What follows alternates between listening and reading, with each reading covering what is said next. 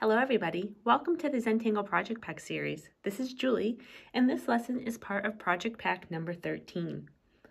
The theme of this project is transitions, and we are looking forward to exploring ways to blend and layer tangles. We will be using some familiar tools and perhaps some new to you tools to create interesting textures, layers, and elegant transitions from one tangle to another. We will also be playing along with the metaphor of transitions and the importance of transitions and change in our everyday lives. We will be working with the materials found in your Zentangle Project Pack 13 envelope. If you do not have the envelopes, we do encourage you to follow along with whatever materials you have at, at home. Zentangle Project Pack envelopes can be purchased at zentangle.com and also from some certified Zentangle teachers. We do recommend watching the introduction video to this series first. It can the link to it can be found in the description below. But the rest of the Project Pack number 13 videos can be viewed in any order. Today, we are going to be working with a black Micron 01. I'm going to be working with a Sakura Micro Perm 01. A glaze pen, this is the three-dimensional ink from Sakura the Sketch and Wash pencil from General Pencil. I also have graphite and white charcoal pencil and some tortillons and a paintbrush to use with the Sketch and Wash. To the side here, I also have a little dish with some water in it that we'll be using later on. And today we're going to be working on a three and a half inch square white Zentangle tile. But again, if you don't have these materials, just gather what you have and explore along with us. So to begin, I have my black Micron 01. And we're going to be working with the Tangle Aquafleur today. And we're going to begin by drawing a rather large blob-like shape. Blob, a very technical term that takes up a good portion of our tile.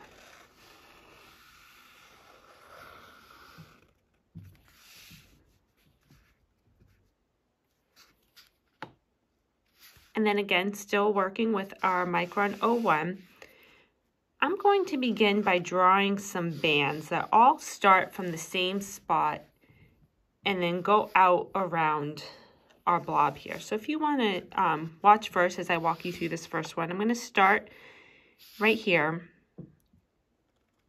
I'm going to draw a slightly curved line that then hooks around to sit on top of our outline here.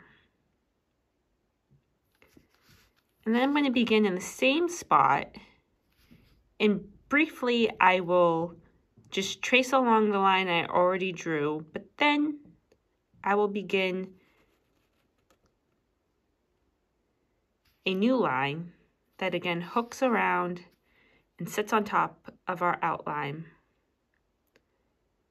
And then I'm going to draw an arc that connects this point to this point. And so this gives the illusion that this band wraps around that bob. And so I'm going to repeat drawing these bands, all starting from this same point. If you want to follow along for just a moment.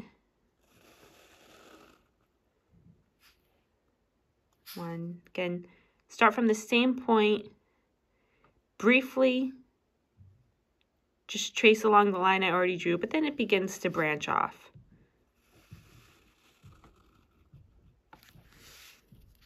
And then draw an arc to connect those points. I'm going to keep going. My lines are not straight. They've got a little curve to them.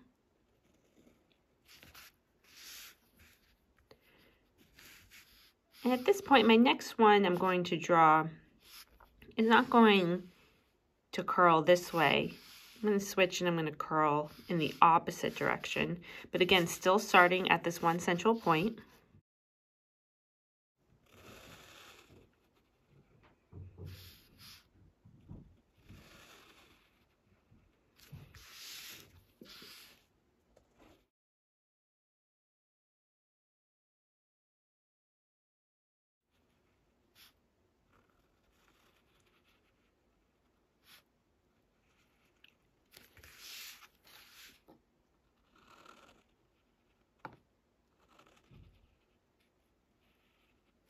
As I get closer to the bottom, my little bands are getting smaller.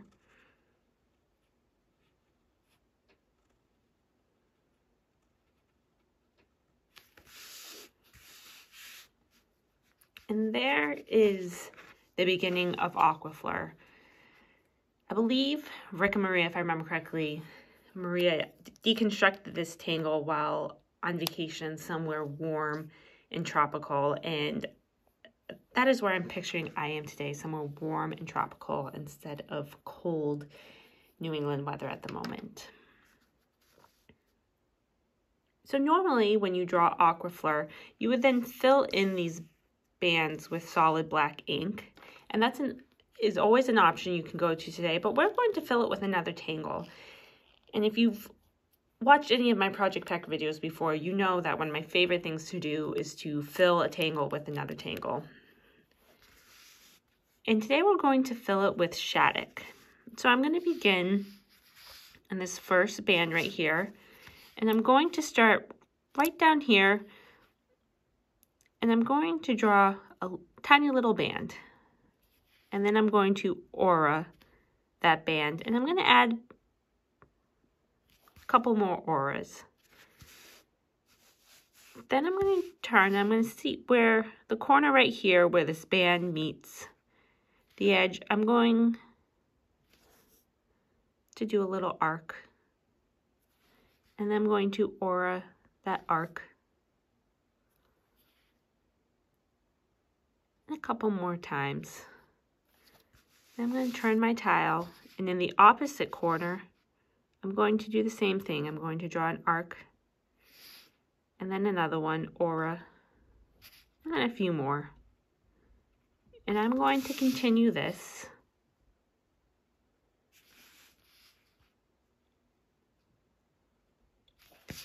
until I have filled this entire band with Shattuck. And you'll see later on why Shattuck is one of my favorites because it's fun to shade. You can really give it a lot of depth and dimension with the graphite and the white charcoal.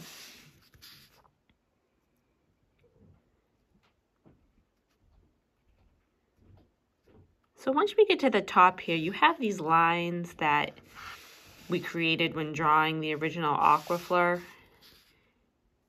You're just going to ignore them and I know it might be hard. It was hard for me at first to be like, how can I hide them so we don't see them? But once we're done shading at the very end and we've added all of our layers, you don't see them at all. So there we have Shattuck. So I'm just going to do the same thing in the rest of my bands.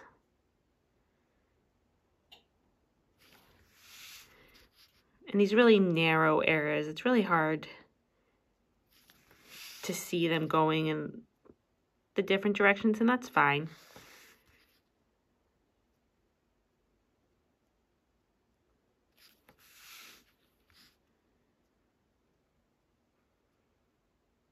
I love the theme of this project pack, transitions. It's not just on paper entangling and transitioning from you know, one tangle to another or how you layer them and incorporate them together. But just in everyday life, I think we are constantly in a state of transition, whether it's from one place to another, one stage of our life to another, you know, even one part of our day to another. And one thing I always try to remember, whether it's on a tile or in life, is, you know, give yourself a little grace when you're in transition. And we're not striving for perfection.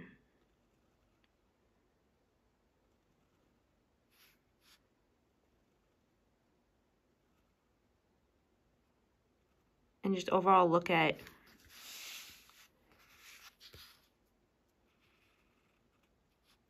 the bigger picture, not focus so much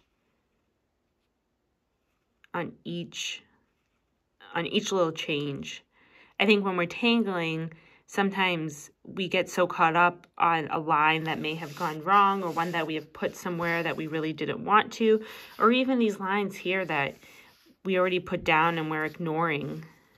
You know, can, we can get so focused on them and how to hide them or how to fix them. But when we're finished with our tile, you're not going to notice them. You're not going to notice those little hiccups in the transition but you're going to see this beautiful tile. This past year, I went through a big transition. I became a mother, and it has been the most wonderful, amazing, beautiful, chaotic, stressful transition I've ever gone through. And I've always, I just have to take a step back and have a little grace with myself. I'm learning. I'm growing. And while it's easy to obsess about the small little day-to-day -day things, at the end of the day, my baby is wonderful and he's healthy and he's happy and that that is what matters most. When we begin a tile, and we transition from beginning to ending the tile, we have, we usually have some sort of idea maybe of how we want the tile to turn up, some sort of inspiration or idea in our head of what we're doing. But as we begin to tangle, sometimes different strokes lead us different places and either things don't go quite as we planned and we have to adapt and change or maybe we found new opportunities that were more exciting than what we originally planned. But it's kind of, I've tried to approach each day of motherhood the same way. I have an idea of how I want my day to go. I would like my baby to be fed and safe and happy and and as long as at the end of the day that's where I end up. How I got there doesn't matter so much.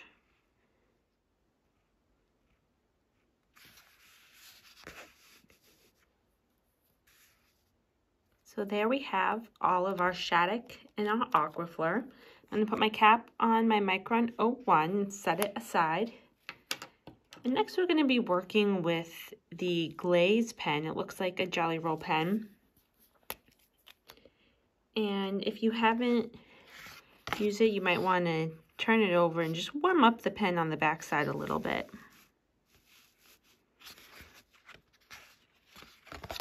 And we're going to be using this pen in these spaces right here with the Tangle Flux.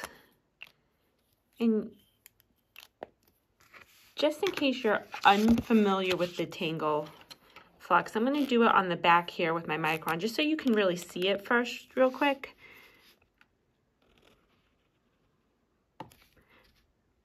But flux is like these little petals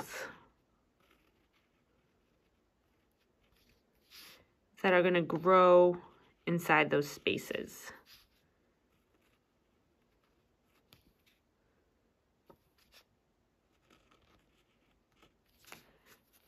But instead of doing them with our micron, we're going to be working with this glaze pen. And when working with this pen, you really want some good light because it is clear. So you're going to have a little trouble um, seeing it. But if you get some really good light and you get familiar with turning your tile, you'll really be able to see where you put the ink down. So I'm going to start in this area right here. I'm going to draw my first petal. See? see what's going on there.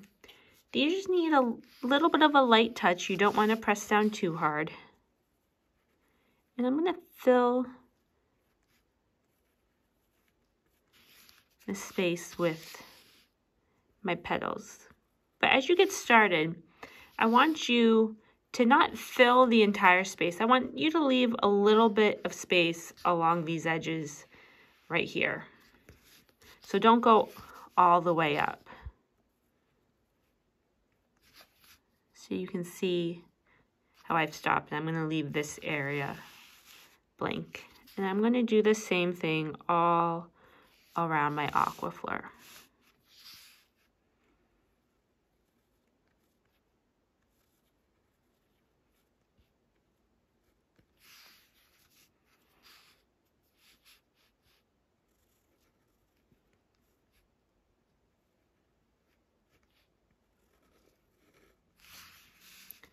They don't all have to be the same size or going in the same direction. This is a very organic tangle that just kind of grows as you go along.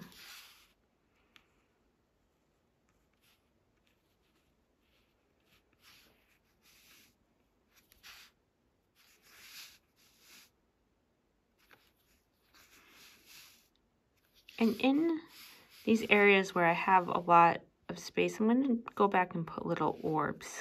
So you can see. If the space is too small, I'm not going to force it, but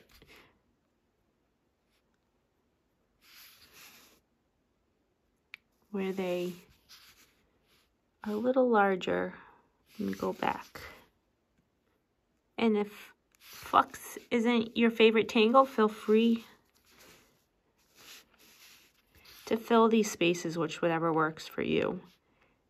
And I think that's something else too important important to remember when we're tangling in our lives that what works for one is not going to work for everybody. There is no one size fits all life.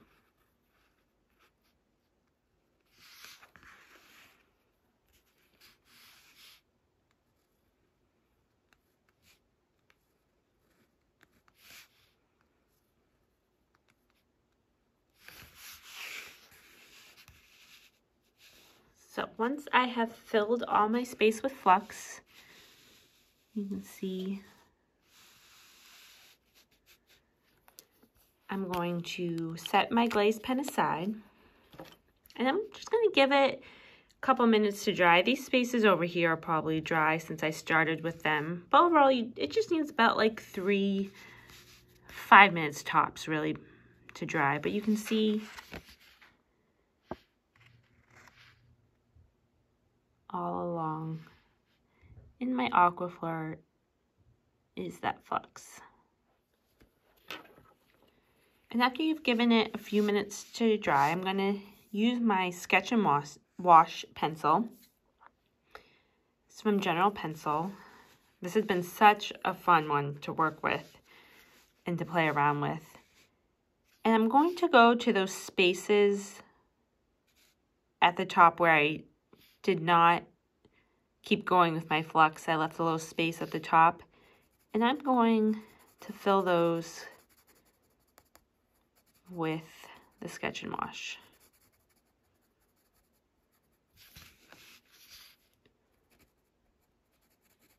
Being pretty liberal with how much I'm putting down. If you accidentally go over your sketch, your um, glaze, that is perfectly fine. Sometimes you just don't see it there.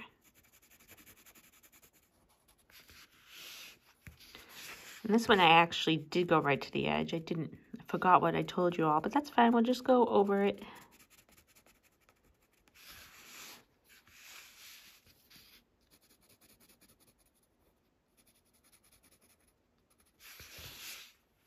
And once we have our sketch and wash, I'm to pick up my paintbrush. I'm to dab it in just a little bit of water, not too, too much. You might need to, if this is your first time using the paintbrush, swirl around a little bit.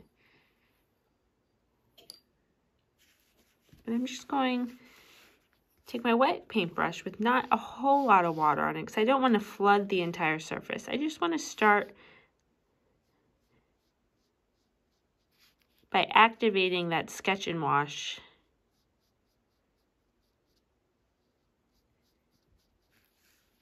and dragging it over the glaze that I've already put down.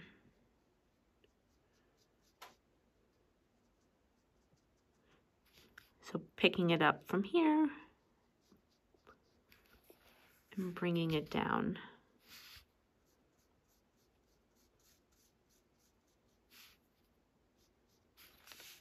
And so you can see the glaze acting as a resist. Get a little bit more water when you need to. And I'm, I'm keeping it contained as best as I can. It's not going to be perfect to the, these sections, but if some goes out of your aquafleur into your bands, don't worry, because there are no mistakes. And whatever happens, we will just, we'll work with it.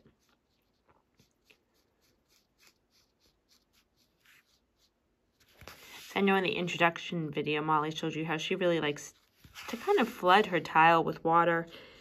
And so that is also an option if that is the technique you like as well. I like to work in layers. So I just add a little bit of water at a time, see when I need more whatever speaks to you, however you prefer to work. This is, oh, you know, these lessons are always suggestions, whatever works for you. It is your art.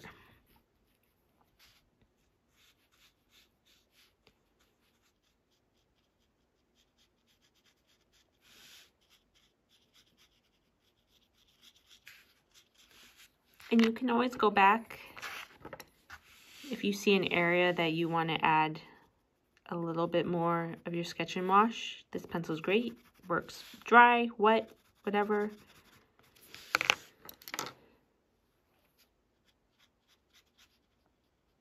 Whatever suits you. But I always say when working with these shades of gray, you can always go back and add more.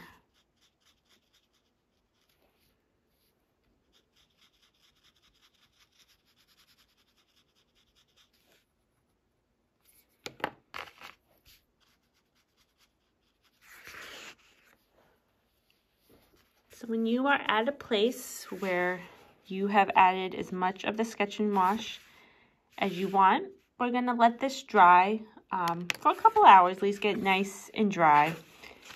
You can set it aside and when um, check on it in a couple hours and then come back and we're going to um, add some shading, some graphite, and some white charcoal to our tile. And I'm excited about that. So I will see you all soon.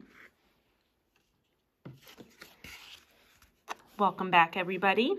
We have our dry tiles, our aqua aquafleur that we put the sketch and wash over. This already looks awesome, even before we've added some more shading. But we are going to give it a little bit more dimension. So the first pen I'm going to use is the Micro Perm Black 01. And this is the one that looks just like the Micron, except it's a gray barrel and it says Micro Perm on it. This is a different ink, and the reason why I'm choosing this one is because this um, ink is great for writing on like a plasticky surface. So like this glaze, this raised ink, um, is more of a plastic surface than the paper. And the Micron, the pigment ink, doesn't work great on that. It's really meant for a matte surface.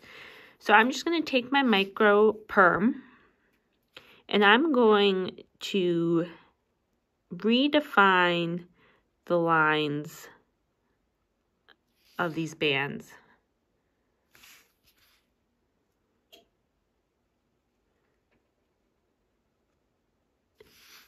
And in case some of your glaze pen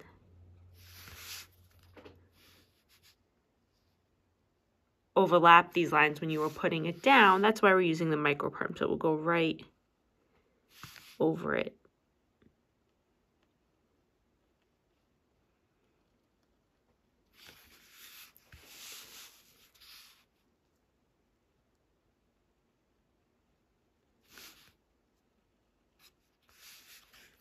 And we're just making them a little bit more bold in case they got a little muddied up.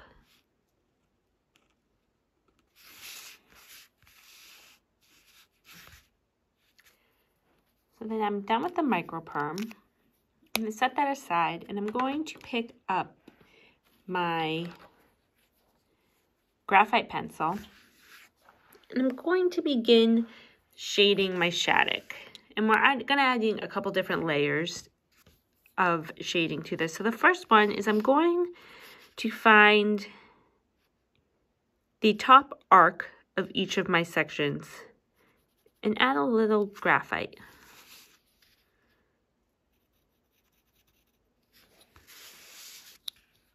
Remembering to turn your tile.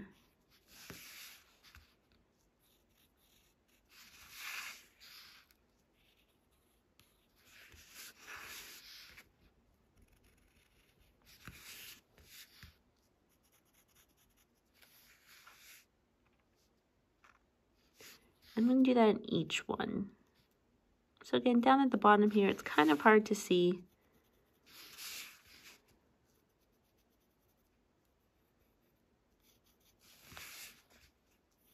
You don't need to add a whole lot, but as you get, as your band gets wider, you have these bigger sections and you can really see how it gives a little bit dimension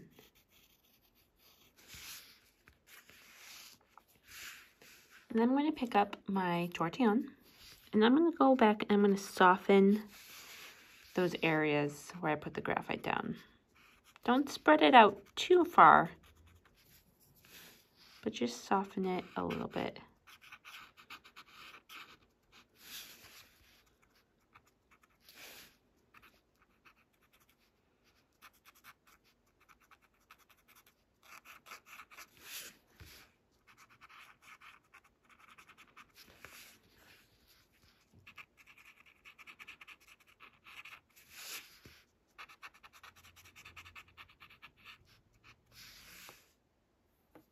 And then once that is done, I'm going to go back with my graphite pencil. I'm going to add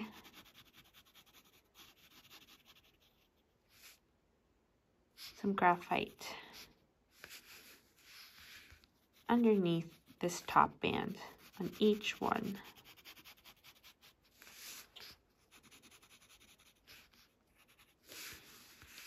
And again, go back with my tortillon and soften it.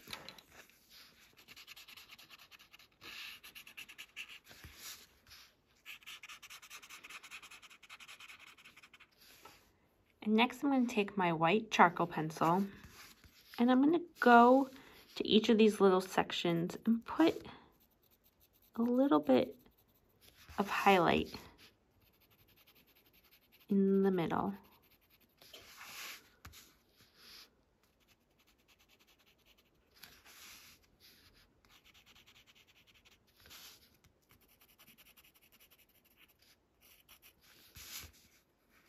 Each one. Do the same here. These real narrow areas, you're not going to get a lot of shading there, and that's fine. Then I'm going to take my tortillon, I have a different one for my white, and just go soften it just a little bit.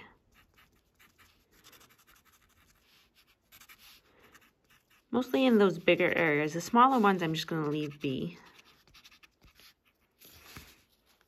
You can already see how the Shattuck has so much more dimension. So I'm going to go back with my graphite pencil again. And underneath each of these bands right here, I'm going to put some graphite. all the way down.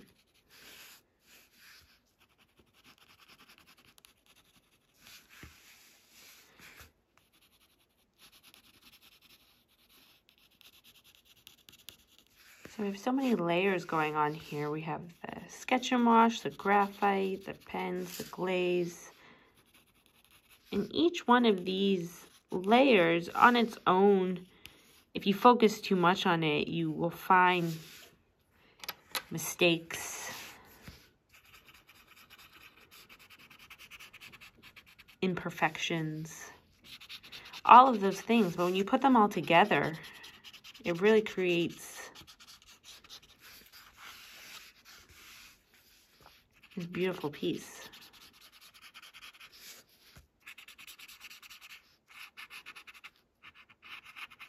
You see how they all work together. And finally, I'm going to go back with my Micron 01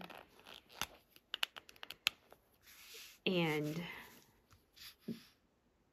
these top arcs that we put down for each section, I'm going to go and I'm going to redefine them.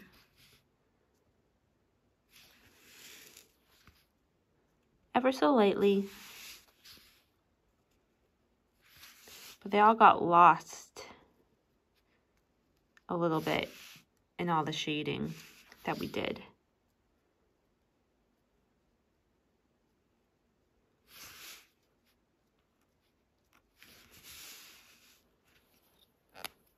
And then to add my chop, I'm going to use my glaze pen. And my chop today is just going to be a J. And on a different piece of paper, I'm going to add some of my Sketch and Wash. Take my paintbrush, get a, just a little bit wet to activate it.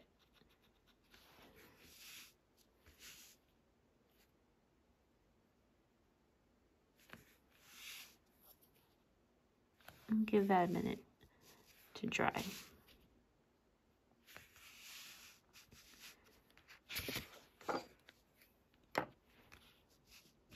And there you have it. We have Aquafleur, Shattuck, Flux, lots and lots of different layers. And I want to thank you all so much for tangling along with me today for this lesson in Project Pack number 13. Can't wait to see what you all create. Thank you guys.